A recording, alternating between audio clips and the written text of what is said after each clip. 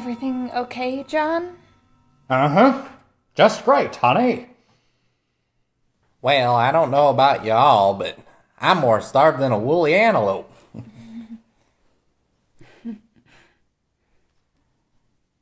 John, would you like to lead us in prayer? Huh? Say the blessing for us tonight? Oh, well, I'm just not that thankful. I'll just go ahead and. Jethro, why don't you go ahead and say the blessing? Sure, Pa. Dear Lord, thank you for this bird we're about to stuff our yelping tummies with. Thank you for this day, and I ask that we keep, you keep us safe through this whole week. Amen.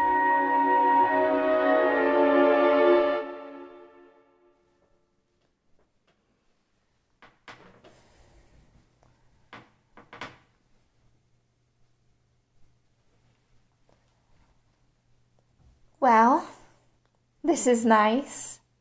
Yeah. This really looks great, Mrs. Angus.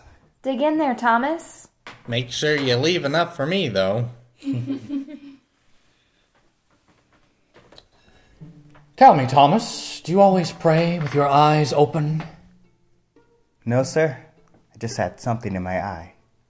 Well, Thomas, um, I'll have you know that that's. well. You're sure to have been raised in a nice family, given your line of work. Surely you were raised with the appropriate conduct of closing your eyes while someone's saying grace. I think he said he had something in his eye. Mr. Angus, why weren't your eyes closed while we prayed? What kind of backtalk nonsense is that? Just tying up loose ends.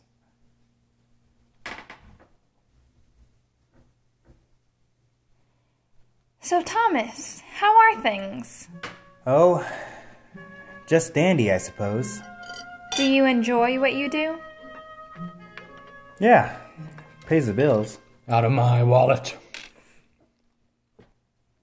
You see a lot of places, don't you? Yeah, I get around. Your place is actually the farthest in my rounds. Always got to keep a lot of fuel on hand. In between solar systems, there's not a lot of people who can help you if things go wrong mid space flight. Has something ever gone wrong? Not yet.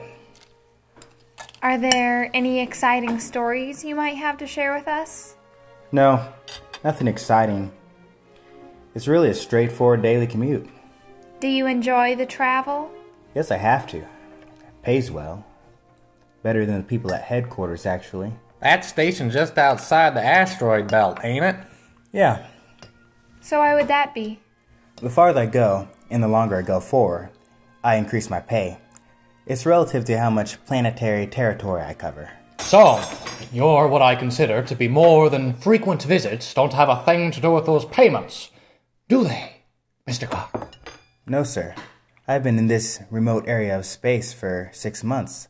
As a matter of fact, I haven't been home since then. Yeah, who writes your excuses? I'll bet you think twice about crossing that asteroid belt, let alone the street.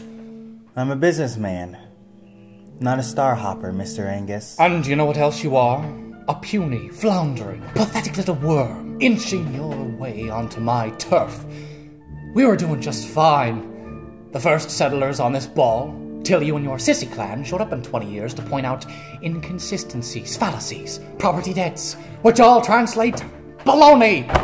I haven't let your opinions keep me from doing my job, and I'm not about to. Can you really blame me for that? Yes, I think you need more than my opinion. I think you need a punch in the face. John, I think a few bruises would do you some good. And the gall you have to show up here, agreeing to my wife's malicious schemes, eating my best foods. You thought you could come here and not expect me to punch you to bits. Father, please. Th- Thomas and I. Stay out of this, Lily. It doesn't concern you. I think this does concern her, John.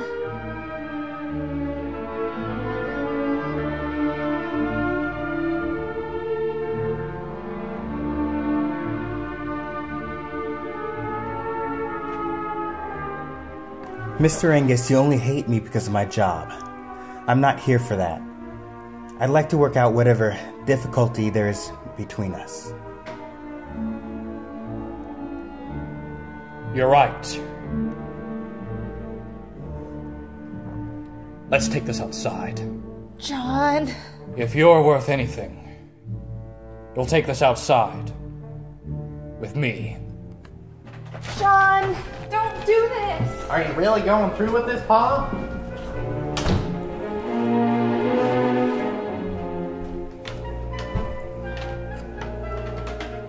You don't have to do this, Thomas. Yeah, well. I think I have to.